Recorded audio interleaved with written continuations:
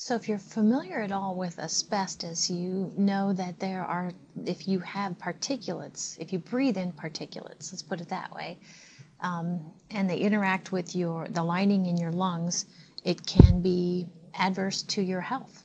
So, now the size that we're talking about, where it interacts with your lung tissue, I think um, I think you're talking looking at something that is smaller than uh, 2.5 microns. Now uh, if you see, now that's how, that's a length, 2.5 microns. Uh, one micron is equal to one micrometer. So just to kind of give you a little sense of convention here. So for instance, here, um, 100 micrometers is the same thing as 100 microns. So hope that all works for you. But as far as getting particulates suspended into the air and what we call um, aerosols. I mean, humans, we have our fair share of activity that would make that happen. For instance, when we burn fossil fuels, not only do we emit gas products, but we also um, spew particulates um, into the atmosphere depending upon um, how we're burning that fossil fuel. Now, particulates can be both a primary pollutant, meaning right off the bat they are harmful to life, and then they can also be a secondary pollutant, which means that the particulate is interacting somehow with something else that's in the atmosphere and forming a pollutant. So. Um, now there is this, I think the word symbiotic is kind of strange here, but uh, there is this relationship between uh, pollutants and condensation, and it's something that we talked about earlier when we were talking about um, the formation of clouds, we said that uh, water needs to, um, well, not even just the formation of clouds, we said that if you have uh, water vapor, um, will go ahead and condense and form water uh, uh liquid. We call that condensation.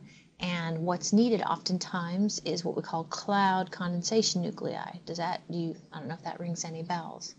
But these particulates can act as basically cloud condensation nuclei. So they can get the whole, um, getting these water vapor, uh, these water vapor particles together so they liquefy. So that's what we mean by these um, solid pollutants can kind of promote condensation. So that has certain consequences. In fact, um, the smog that we saw earlier, kind of hovering over China, I mean, mixed in with that is is basically we are promoting um, the formation of fog at conditions that are less than 100% relative humidity. Why? Because we have added basically cloud condensation nuclei. We have added maybe in, in some cases um, water loving, hygro, um, hygroscopic uh, cloud condensation nuclei. So there you go. So this is looking at uh, primary pollutants for the United States in 2007. Not so surprising, the first one is carbon monoxide. Now in the next chapter, when we talk about um, changing uh, climate, our surface temperature is changing, we're going to talk about carbon dioxide. But notice in all of this that we've been talking about carbon dioxide, we know actually is a primary product when you burn fossil fuels. It is not in and of itself a pollutant. I think I'm saying that right. I don't know. Some people might uh, take exception to that. But carbon monoxide is uh, by far the major pollutant that we put out. Um, those nitrogen oxides, now these are both related to um, burning fossil fuels, aren't they?